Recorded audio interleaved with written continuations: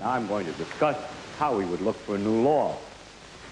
In general, we look for a new law by the following process. First, we guess it.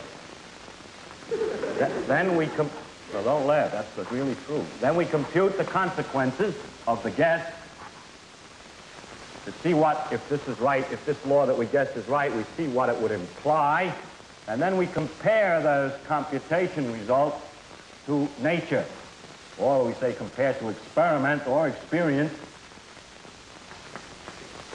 Compare it directly with observation to see if it, if it works. If it disagrees with experiment,